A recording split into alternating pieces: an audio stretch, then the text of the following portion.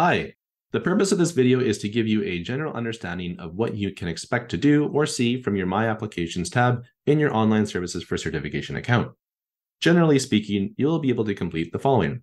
First, you can start a new application for your certificate. Second, you will see general information about your current or previous certificate applications.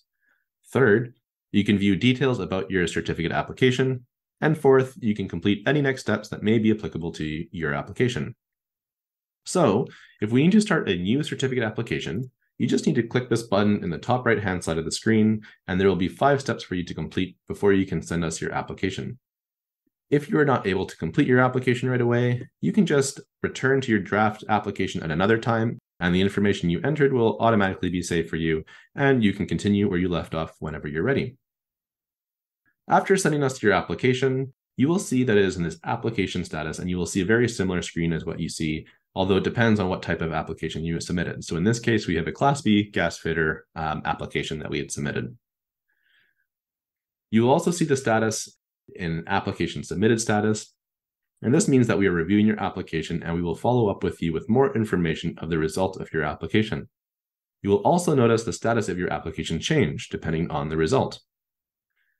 You can also see general information about your application, such as the type of the application you sent, its case number, the creation date of your application, and the date it was submitted. The case number here is if you have any questions about your application. If you do, simply share this number with one of our customer service representatives and they will be able to help you. You will also notice this action drop-down button on the far right side of the screen right over here. And this is here to help guide you on what you can do with this application.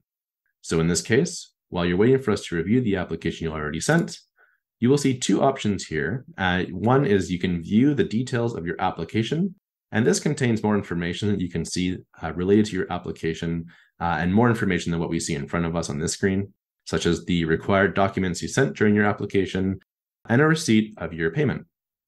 Or you can go ahead and cancel your application if you decide to. Now, depending on the status of your application, you will notice that there will be different options available within this action menu. So definitely go ahead, take a look and see what, what options are available to you based on the different statuses of your application. Thanks a lot for watching. This has been a quick review of your My Applications page, and we look forward to seeing you soon.